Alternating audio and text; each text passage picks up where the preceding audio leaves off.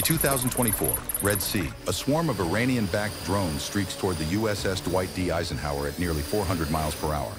The carrier has exactly 90 seconds to respond. What happens next reveals why America's aircraft carriers remain the most feared weapons platforms ever built. Beneath the gray steel decks of ships like the USS Gerald R. Ford lies an arsenal so devastating that a single strike mission delivers more firepower than entire World War II bombing campaigns. These $13 billion floating fortresses don't just project power, they are the power. The stealth fighters on these decks can penetrate air defenses that would obliterate conventional aircraft. The electromagnetic launch systems fire jets into combat faster than any enemy can react.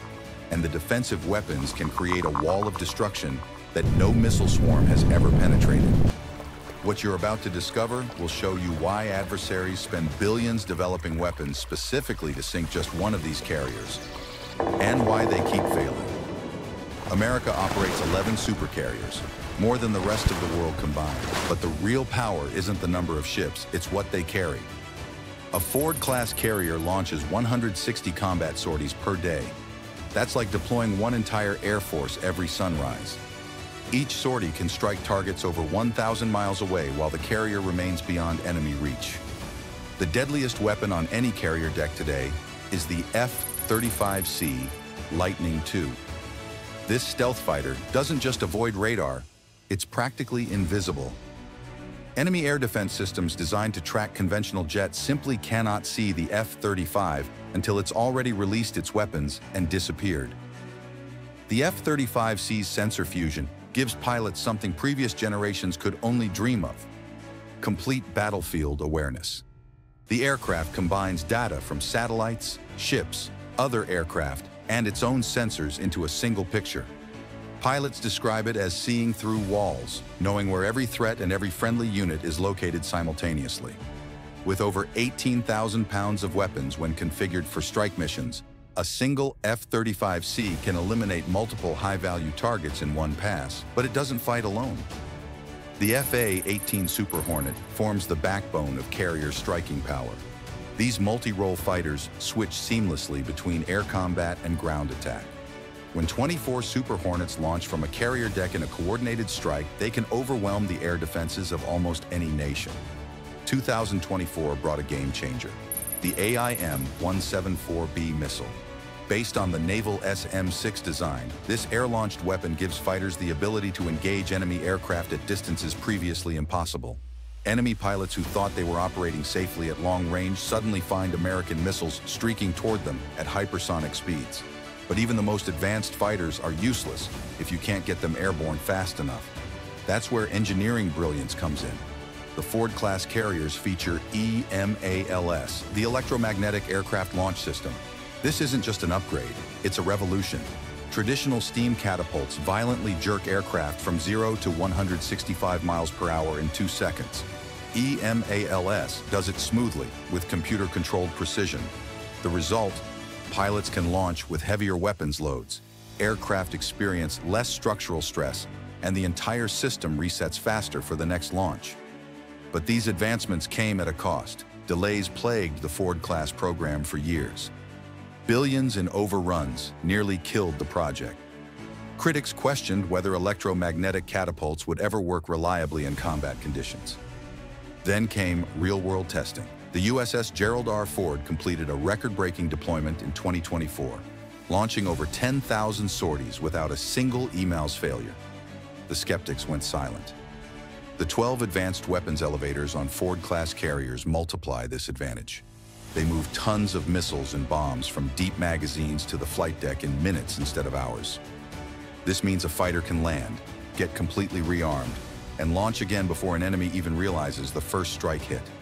Raw firepower means nothing without coordination.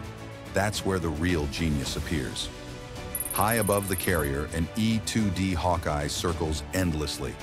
That rotating radar dome can detect threats over 300 miles away, uh, far beyond the horizon. But the E-2D doesn't just see threats, it orchestrates the entire battle. The five operators inside that aircraft manage hundreds of contacts simultaneously. They're directing fighter intercepts, coordinating strike packages, managing air traffic, and guiding defensive systems, all while flying at 25,000 feet. When enemies try electronic warfare jamming, the EA-18G Growler responds with overwhelming force.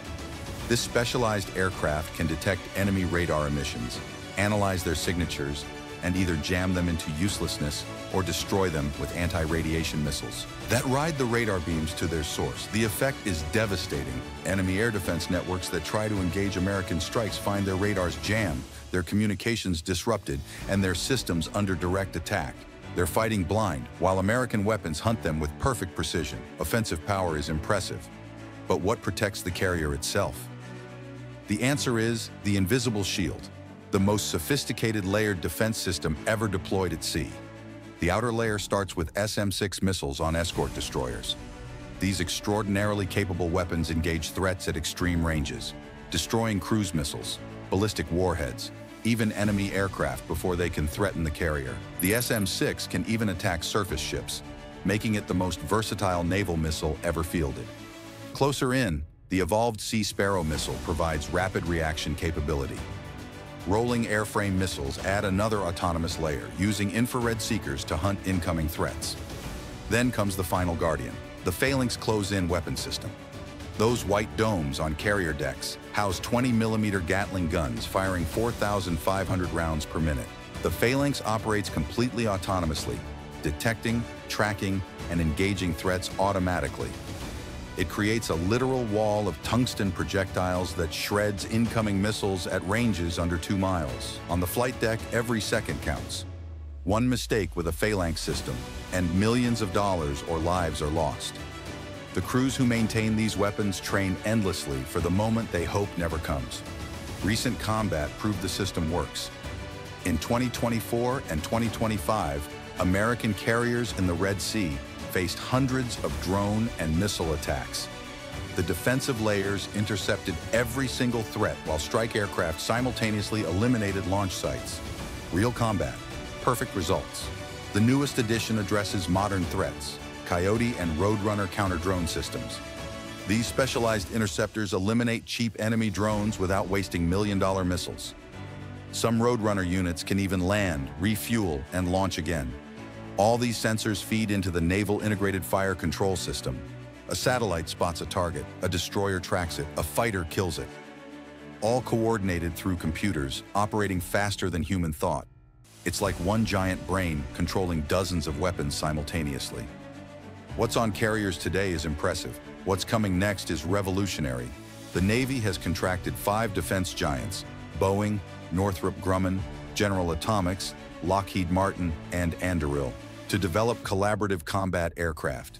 These are unmanned fighters that will fight alongside manned jets. Imagine robotic wingmen optimized for specific missions, some designed for air superiority, others for deep strikes into the most heavily defended targets, still others for intelligence gathering where sending a human would be suicide. A single carrier could deploy dozens of these systems, exponentially multiplying its power without risking additional pilots. The most dangerous missions get handled by machines while human pilots direct operations from safer distances. The MQ-25 Stingray unmanned tanker is already in testing. This autonomous aircraft will refuel fighters in mid-air, extending their range far beyond current limits. Strike missions that once required multiple carriers can now be accomplished by a single ship.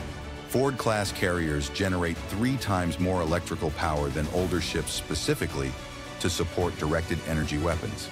The vessels are pre-wired for high-energy lasers that will destroy incoming missiles at the speed of light. These weapons will add another defensive layer while costing just dollars per shot instead of millions for missiles.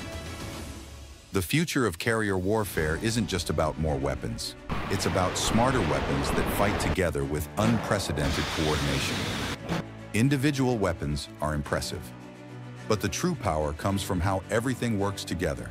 A Ford-class carrier can engage targets over 1,000 miles away. Its air wing can simultaneously strike hundreds of separate objectives in coordinated attacks, its defensive systems can track and engage dozens of incoming threats while offensive operations continue uninterrupted. The escort ships multiply this capability. Arleigh Burke-class destroyers carry vertical launch systems with up to 96 missile cells. Virginia-class attack submarines provide underwater protection while launching Tomahawk cruise missiles at land targets. The psychological effect cannot be overstated. When an American carrier strike group appears on the horizon, potential adversaries understand they face overwhelming force. Nations that might consider aggression recalculate when they see a carrier group deploy to their region. This is peace through demonstrated strength. The weapons don't need to fire to be effective. Their mere presence often prevents conflicts from starting. These technological marvels require exceptional people to operate them. American carrier crews are volunteer professionals who master some of the most complex weapons ever created. Flight deck operations in combat conditions represent some of the most demanding work in any military. Launch crews coordinate split-second timing surrounded by jet engines and live ordnance. Weapons handlers move tons of explosives safely through confined spaces. Pilots fly missions lasting hours into contested airspace. Their dedication turns technology into effective instruments of American power. The most powerful weapons on American aircraft carriers today represent more than military hardware. They embody technological excellence dedicated to defending freedom. Every missile launched, every fighter that roars off the catapults, and every defensive system that activates serves a larger purpose. These weapons ensure America's allies can operate freely while adversaries think carefully before acting aggressively. In a world where threats emerge constantly, maintaining the most advanced carrier-based weapons isn't optional. It's essential for global stability. That's the true power of these floating fortresses. They don't just win battles through overwhelming firepower. They prevent wars by making the cost of aggression too high for any rational adversary to pay.